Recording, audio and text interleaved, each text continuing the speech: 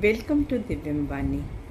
Divine message देखते हैं आप लोगों के लिए क्या है for next seven days this reading is for water signs start is Cancer Scorpio and Pisces तो चलिए देखते हैं आपके लिए क्या मैसेज आ रहा है डिवाइन मैसेज और आप लोग क्या, किस एनर्जीज में रहने वाले हैं, क्या मैनिफेस्ट करने वाले हैं। Let's check from the cards आपके लिए मैंने टू कार्ड्स फुल करे हैं। This is card number one and this is card number two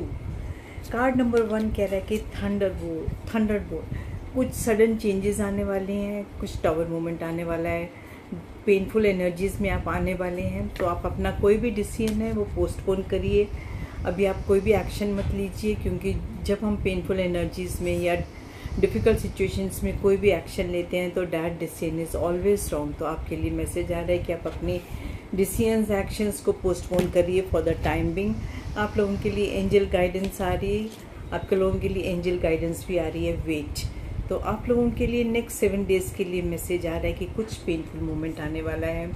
जो कुछ आपने एक्सपेक्ट करा था, जैसे एक्सपेक्ट करा था, वो वैसे नहीं होने वाला। Things will turn out to turn out in a different way and then you have to postpone your decisions आपको अपने एक्शंस डिसीजंस को थोड़ा पोस्टपोन करना पड़ेगा। एंजल्स भी आपको एडवाइस कर रही हैं कि वेट करिए for the right time to take action to take decisions thank you